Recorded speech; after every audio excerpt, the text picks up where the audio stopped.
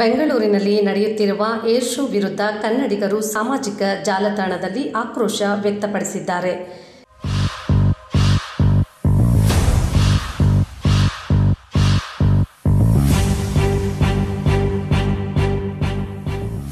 Air ಶೋನಲ್ಲಿ English, Hindi board ಅಳವಡಿಸಲಾಗಿದೆ. Air ಶೋನಲ್ಲಿ ಕನ್ನಡ ಫಲಕ ಬಳಸದೆ ಅಪಮಾನ ಮಾಡಿದ್ದಾರೆ.